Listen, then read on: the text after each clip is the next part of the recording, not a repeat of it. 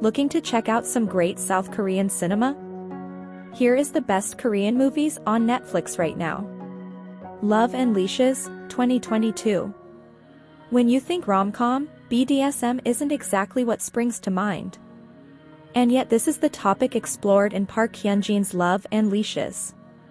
This 2022 romantic comedy tells the story of Ji-woo, Seo Hyun, who becomes inducted into the world of BDSM by her colleague Ji-hoo, Lee Jun-young. The film has been praised as having a refreshing and accurate representation of kink and is surprisingly sweet and wholesome. It makes an effort to erase the stigma behind BDSM on top of being genuinely informative. Besides the effort it makes to be accurate and respectful, Love and Leashes also differentiates itself from films such as Fifty Shades of Grey by having Ji-woo be the dominant one in her and Ji-hoo's contractual relationship. Additionally, Lee and Seo Hyun have a palpable chemistry that makes it difficult not to root for them and their relationship. Looking for a feel-good office romance with a bit of a twist? Love and Leashes is sure to satisfy.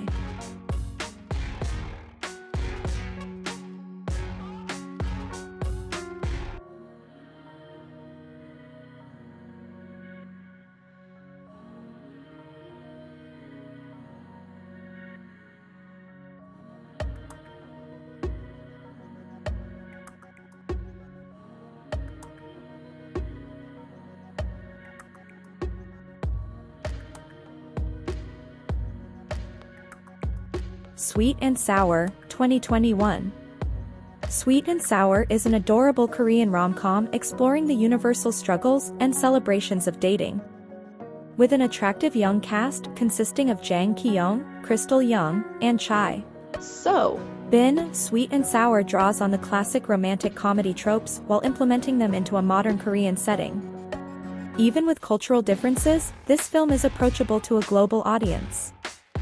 Follow this cute couple on their journey attempting to stay together through a long-distance relationship and the challenges they face, including flirtatious coworkers. Sweet and Sour is exactly that, a delightful tribute to love.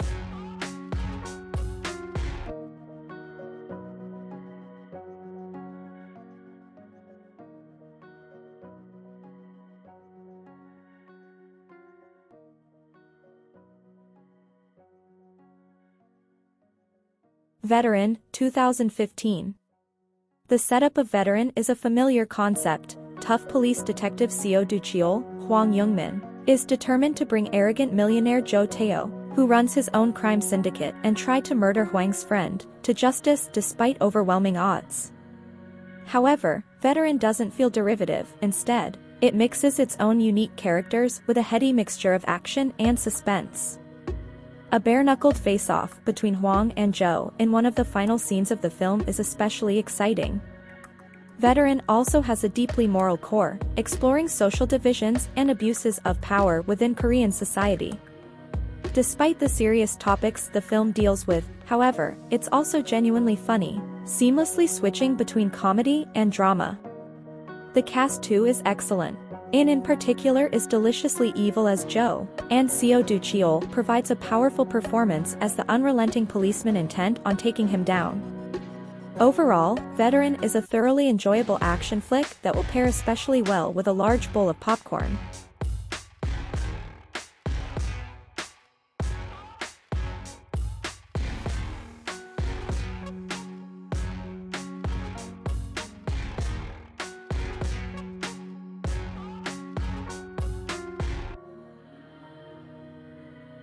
Night in Paradise, 2020. If you are looking for a classic crime thriller, the likes of which South Korean filmmakers are known for, then the Netflix original movie Night in Paradise is a great choice. Directed by Park Hoon-jung, a mobster who denies an offer to join the rival Buksong gang, resulting in the murder of his entire family. Tae then retaliates by killing the men responsible before fleeing to the picturesque Jeju Island. There he meets a woman named Kim Jae-yeon, played by Jeon Yeo-been, who suffers from a terminal illness and has little time left to live, and the two form a connection. Unfortunately, Tae's troubles follow him to the island as the Buksong gang hunts him down. South Korea has a talent for creating complex and exciting revenge stories with fascinating anti-heroes. Tae is a skilled assassin whose life gets turned upside down by his loyalty, and the one thing he cares about, his family, is taken away from him. In Jae-yun, someone who has gone through a similar situation and ends up alone, but doesn't want to be, and so they begin to form a life together. Their relationship becomes the emotional centerpiece of an action-packed, violent story of vengeance.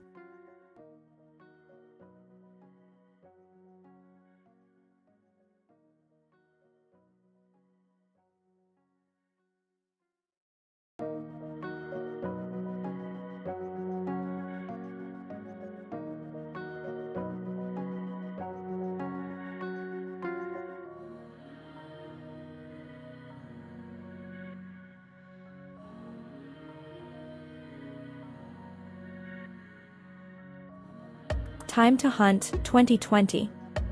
Another Netflix original, Time to Hunt is a thriller set in a dystopian near future in which poverty is even more widespread and destructive.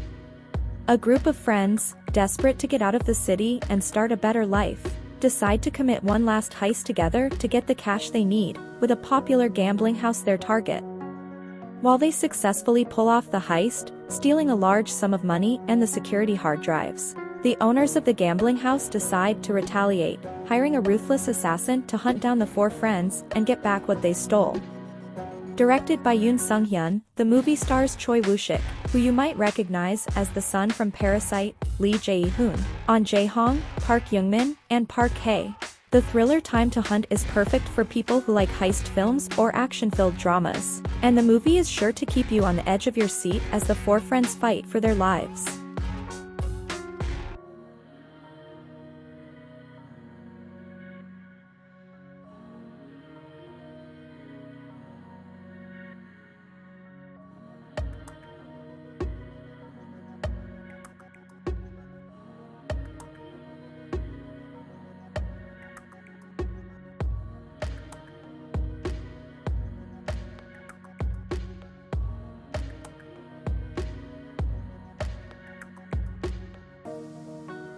Space Sweepers, 2021.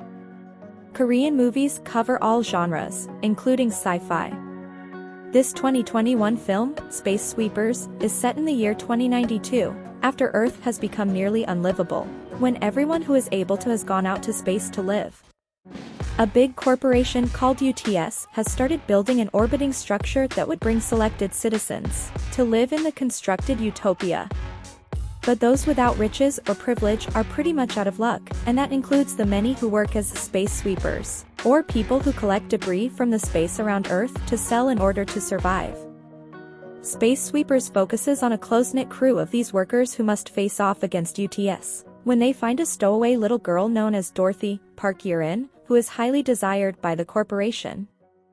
UTS claims that she is actually a robot weapon, but the crew can't help but fall in love with the girl, so they continue to debate whether they should sell her for riches or protect her from UTS. The film stars Song Joong-ki as Kim Tae-ho, a former soldier who now works with Captain Jang, played by Kim Tae-ri of The Handmaiden, on her ship, alongside Jin Seon-kyu as Tiger Park and their robot friend Bubs,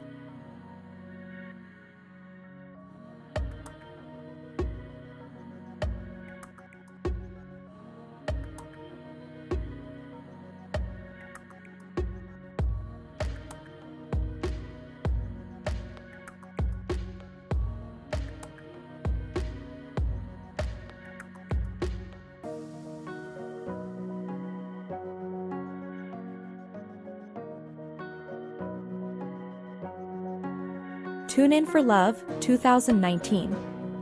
Starring Jung Hae-in as Hyun-woo and Kim Go-eun, who some might know from the popular Korean drama Guardian, The Lonely and Great God, as me. Tune In for Love is a sweet love story that takes place over years, following star-crossed lovers Hyun-woo and Mi, through the many ups and downs of their relationship first meeting at a bakery where Mi works in 1994, the two grow close, but strange situations seem to always drag them apart. Whether it's a lost email password, a broken phone, or even jail time, the two can't seem to catch a break. Despite that, Mi and Hyunwoo continue to search for one another over the years, determined to be with the other person no matter what obstacles of life stand in the way. If you are in the mood for a heartfelt, subtle romance, Tune In for Love is the perfect choice.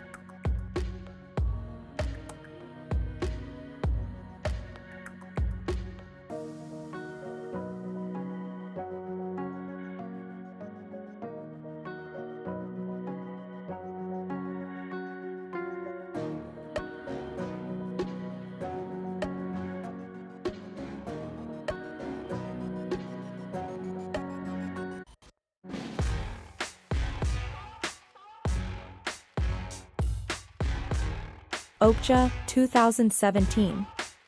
While a majority of this film is in English, it is still very much a South Korean film. Directed by Bong Joon-ho and co-written by him and Jon Ronson, Okja is the story of a young girl named Mija, Ahn Seo-hyun, who makes it her mission to rescue the super pig she raised, named Okja. The animal is part of a major experiment for the meat industry, led by a power-hungry American company, with the end goal being Okja's consumption. It's definitely a commentary on capitalism in America, along with the brutal treatment of animals in the food industry, most notably pigs. The film is star-studded, featuring longtime Bong collaborator Tilda Swinton, along with Paul Dano, Byun Hee-bong, Jake Gyllenhaal, Steven Yeun, Lily Collins, Giancarlo Esposito, and more. The movie is Bong's second English-language film after 2013's Snowpiercer, and although he will definitely continue to focus on Korean films like the Oscar-winning Parasite, Okja represents his increasing presence in Hollywood and the American film industry. The story of Okja is heart-wrenching, funny, and beautiful, and it definitely forces you to think about what sort of food we consume and how it gets from the farm to the stomach. After seeing Okja, I'm keeping my fingers crossed that Gyllenhaal, Dano, and Yeun all team up with Bong again in the future.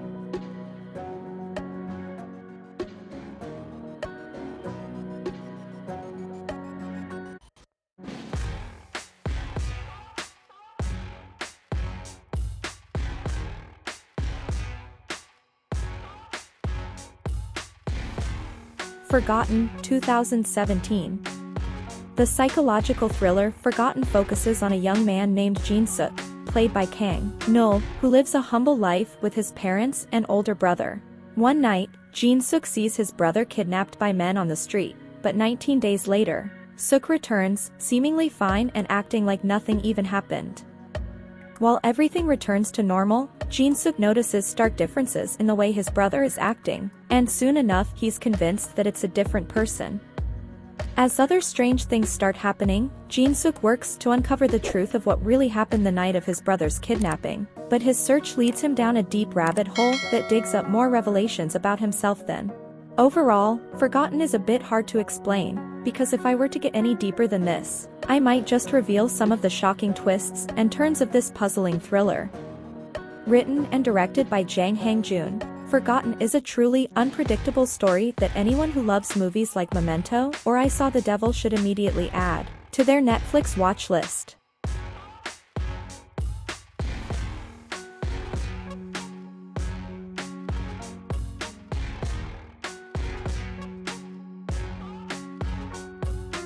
The Brothers, 2017. The Brothers is a hilarious misadventure of two very different, estranged brothers who are forced to work together after their father dies as they go through all of the traditions of a Korean funeral. The film is directed by Chang Yu-jong and stars Ma Dong-suk, who Marvel fans will see as Gilgamesh in Eternals, as Lee Suk-bong and Lee Dong-hwi as Lee Ju-bong, the two brothers in question. Sukbong is the older, more immature brother, a history teacher whose one big dream is to discover secret treasure on the family's land, while Jubong is the meticulous, ambitious younger brother who attempts to use the funeral to convince his family to sell the land. The two haven't seen or talked to one another since their mother's funeral, so there's a lot to work through, and to make matters worse, the brothers hit a woman named Oh Roare, played by Lee Hani, on the way to their father's funeral, causing her amnesia. The Brothers is a dramedy that focuses on the brothers as they rebuild their relationship amidst this crazy situation. It's extremely funny, and after their whole story is revealed, you can't help but root for these meddlesome siblings and the woman who brings them back together.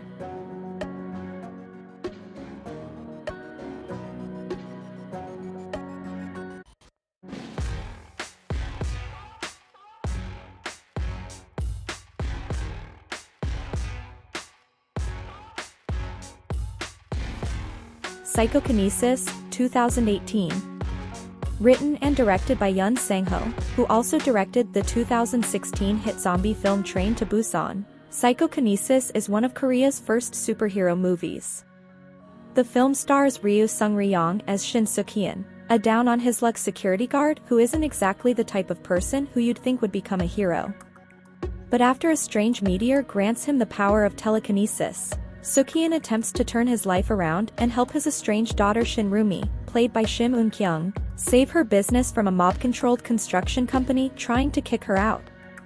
Psychokinesis is filled with plenty of action and comedy as Suk-hyun bumbles his way through both becoming a hero for the city and a better father for Rumi. The 2018 movie is an underrated and thoroughly entertaining alternative superhero story, and it's certainly one of Netflix's current hidden gems.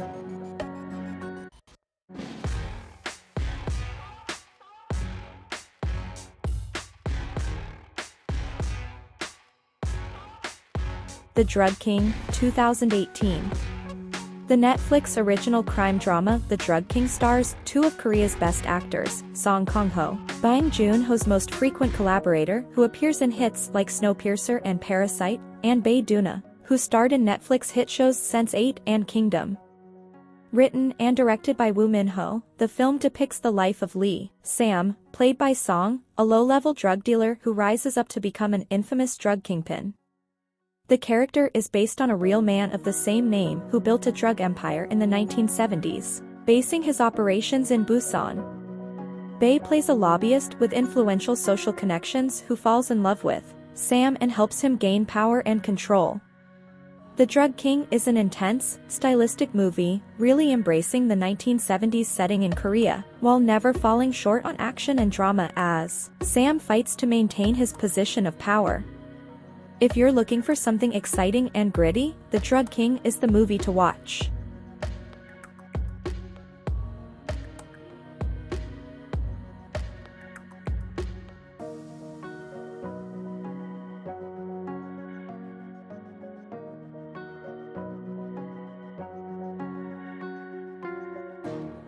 The Call, 2020. If you want to watch a truly mind-melting mystery thriller, The Call is it. The 2020 film is directed by Lee Chung-hyun, starring Park Shin-hye as a young woman named Kim Seo-yeon who finds an old phone at her childhood home that she starts getting calls on. The strange thing is, the woman on the other line is named Oh Young-suk, played by Jeon Jong-seo, and claims that she's calling from 20 years in the past. Both women live difficult and distressing lives, and so they find comfort and support while talking to one another. But when Seoyeon tries to help Young-suk through her knowledge of the future, Seoyeon finds out that the consequential changes to her own life are much worse than she could have ever imagined, and the woman on the other end of the line isn't quite who she thought she was. With a story that revolves around the complicated concept of time manipulation, The Call is a thrilling worst-case scenario about what might happen if we could change the past. The film is led by two fantastically complex main characters, with constant twists that you honestly will not see coming.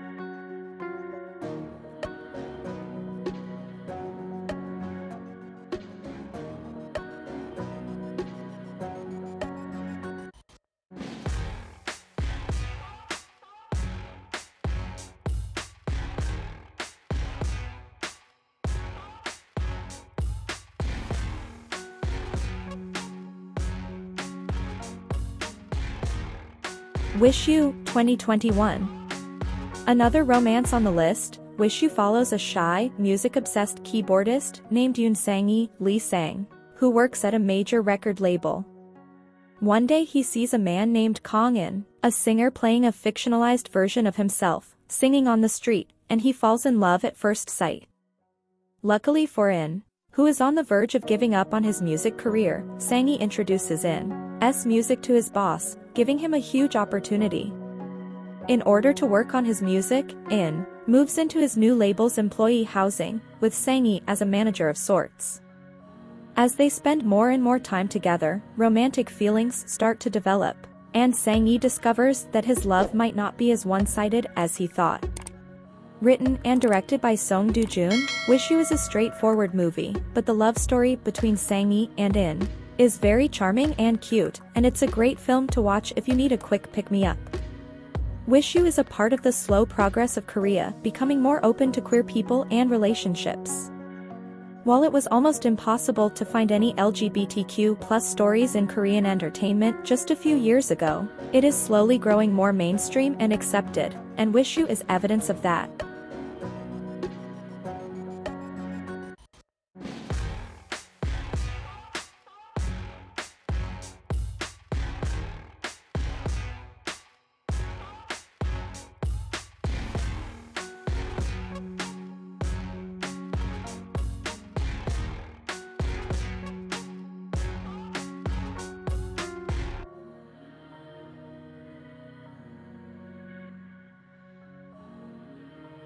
Hashtag Alive 2020.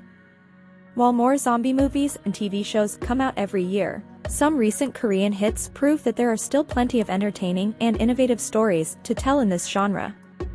In Hashtag Alive, directed by Cho Il-hyung, in From the Film Burning, plays Oh Jun-woo, a video game streamer who becomes stranded in his apartment after a zombie apocalypse breaks out in Seoul.